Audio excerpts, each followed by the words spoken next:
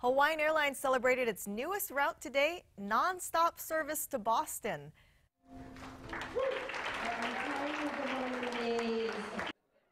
The flight between the Daniel K. Inouye Airport and Logan International Airport is the longest domestic flight in the U.S. Hawaiian says passengers will be in the air between 10 and a half and 11 hours, depending on how the winds are. Now, right now, there are five flights a week with plans to expand.